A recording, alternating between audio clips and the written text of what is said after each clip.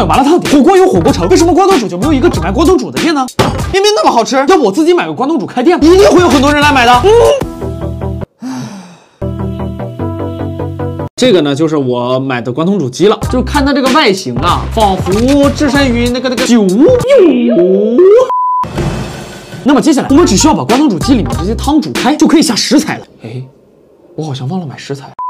那么我们这一期视频就测评关东煮机里面的汤吧。一天后，那么经过一天一夜的蒸煮，这个汤就算是煮好了。嗯，鲜，但是感觉稍微的有一点点不太够咸。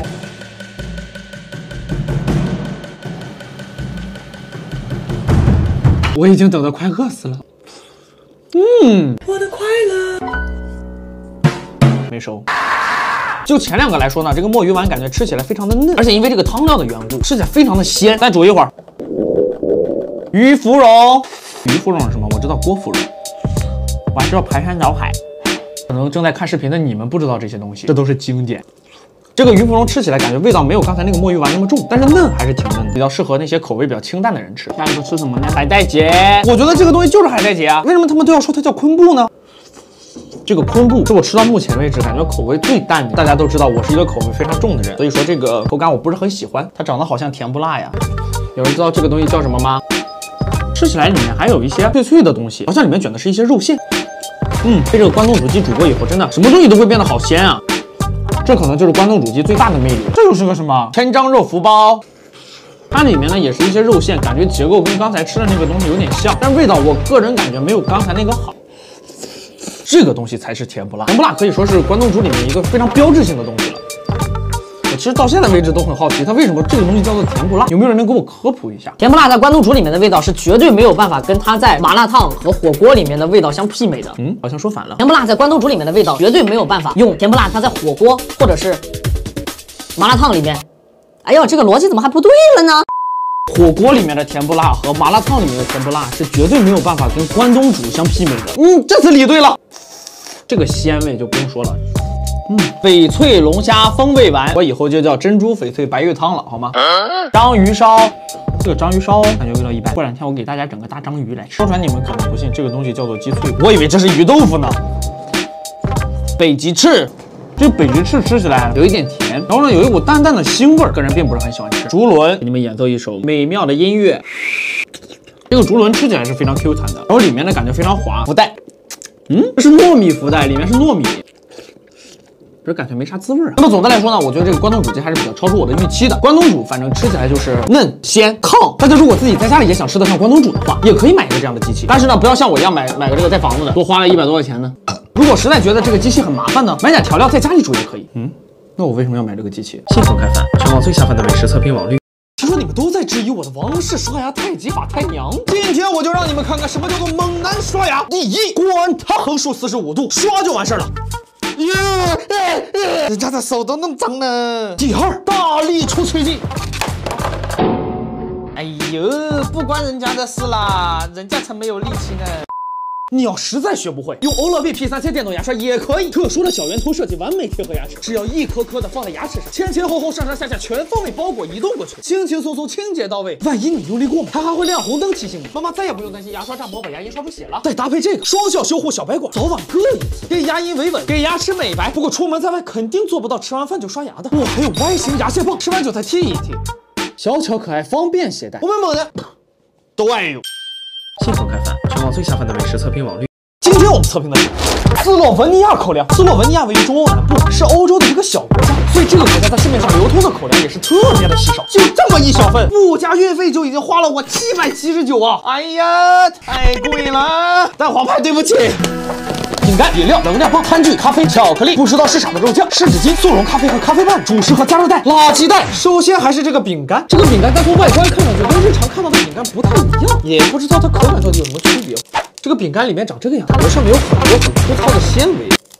嗯，这什么饼干嘛？这好像就是把面包晒干了一样，小麦味特别的浓，吃起来还蛮香的。这么多军粮里面，第一次吃到我觉得还不错的饼干，过期了。呸呸，下一个，闻上去是果真的味道，冲泡之后是这个样子，抿一小口。有点酸。下一个能量棒，这个样子，这个能量棒闻上去有一股非常浓的焦糖的味道，主要也过期了，我们小小的尝一丢丢啊。吃起来酸酸甜甜的，口感像沙琪玛，更加绵软一点。除了过期，我感觉没有什么其他问题。下一个同样过期的巧克力，尝一丢丢吧。这个巧克力吃起来蛮甜的，可可豆的味道特别浓，感觉蛮好吃的。那我们再来一个咖啡吧。其实我非常好奇，这里面的两份咖啡到底有什么区别？不就是咖啡吗，为什么会准备两不一样的？对比一下，找遍了这个包装，找不出来一个糖的味道。然后呢，它倒出来发现是一杯糖。如果有人非要说它是白咖啡啊，我就顺着网线过去打爆你的头。那这个应该就是货真价实的咖啡了。这个就是咖啡和咖啡伴侣吧，深度烘焙的，让我想起了民族之光瑞幸啊。闻上去确实是那种深度烘焙的咖啡。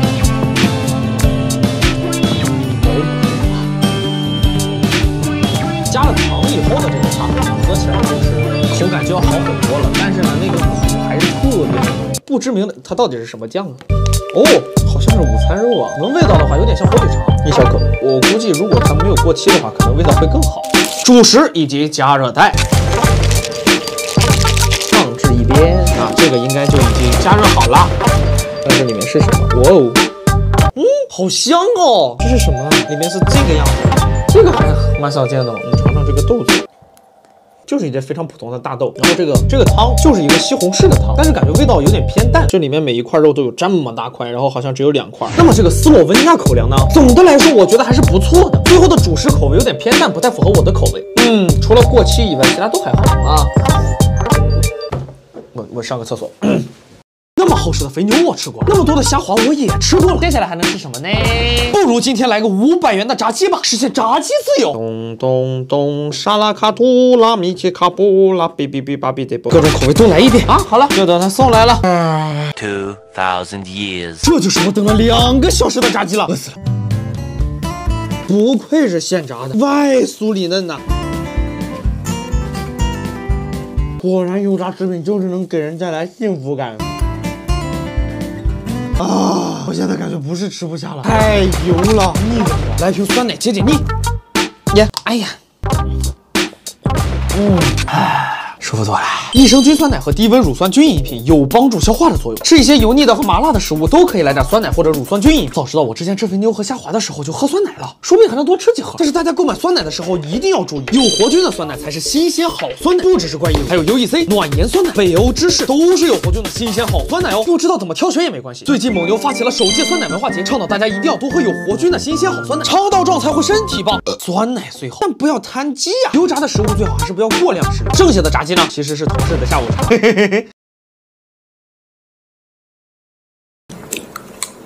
这是黄油，干吃黄油也能干吃吗？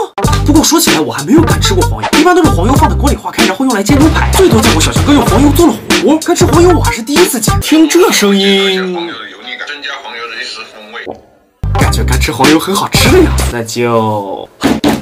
其实黄油是用牛奶加工出来的一种固态油脂，是把新鲜牛奶加以搅拌之后上层的浓稠状物体滤去部分水分之后的产物，主要用作调味品，营养丰富，但是含脂量很高。而这是我买的三块黄油，今天我黄大汉就来挑战干吃完这三块黄油。嘿嘿，又有一集视频水发了，啊，一股浓郁的奶香味儿，哎，哎，我这开始流口水了。那先来切一小块尝尝。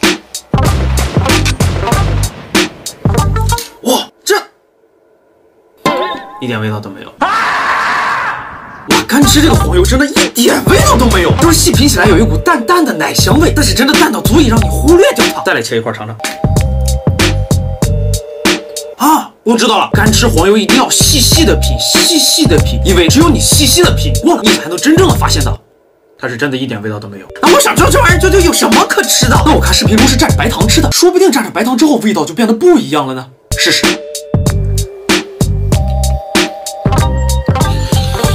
哇，真的完全没有想到，黄油在蘸上白糖之后，居然变成了白糖的味道，那就是白糖的味道。除了有点腻之外，真的一点味道都没有多。我现在就想知道视频里那个女生是怎么面不改色的吃掉那么多黄油的。我王大河竟然已经说了，今天要干吃完三块黄油，我就一定要吃完这三块黄油，说到做到。如果我吃完了，就看在这么腻的份上，我要一个赞，不过分吧？啊，开吃。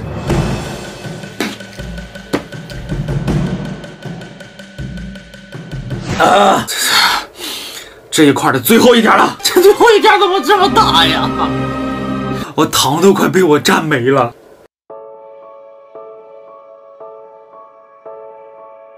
最后一口。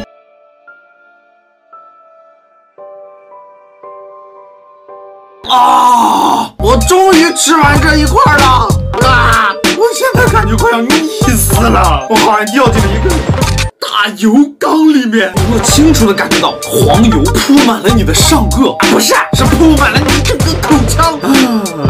剩下那两块我不吃了，我不吃了。这个挑战就到此结束吧。